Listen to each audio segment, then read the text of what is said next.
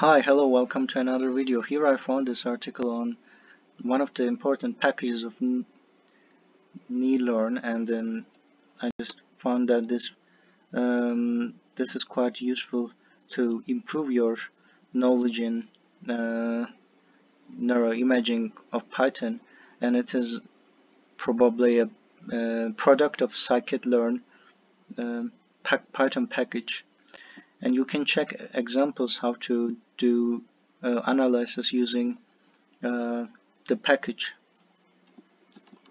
So so that first of all we can use numpy numpy package and then upload this uh, numerical arrays here. And then by by using the plot we can uh, we can draw this simply and then this is helpful to understand how this uh, this how the brain imaging system works like mathematically how they are coded. But the most importantly we should know that um, how uh, how the brain intra how the how we decode using um, using programming. And then this uh, package really helps you to uh, improve your knowledge and uh, and uh, do something useful. Here try plotting one of your own files in the above. File pad is nothing more than string with a pad pointing to a NIfTI image. You can replace it with a string point. So here we check the example. So first of all you should upload this package and then you should uh, import image and then so we should find this image here um, there are more information about this picture.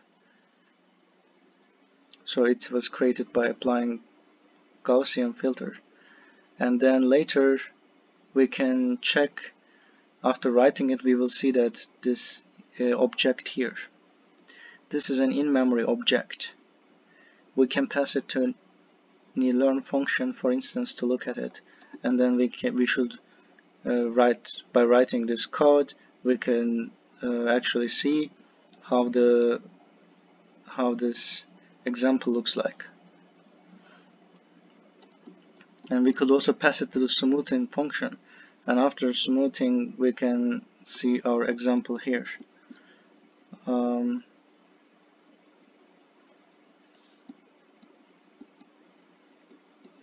it says and later we should do save in memory object obviously and then plotting show is necessary to display the figure when running as a uh, script outside Python.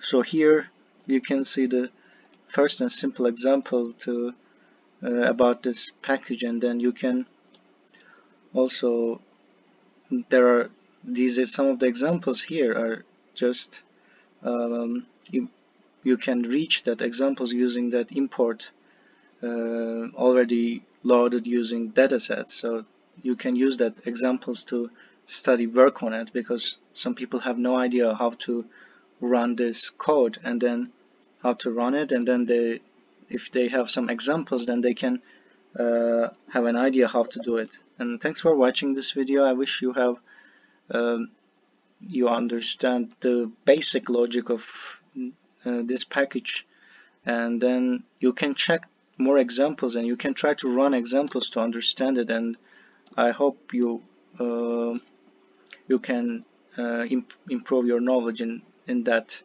package and wish you have a beautiful day. Bye bye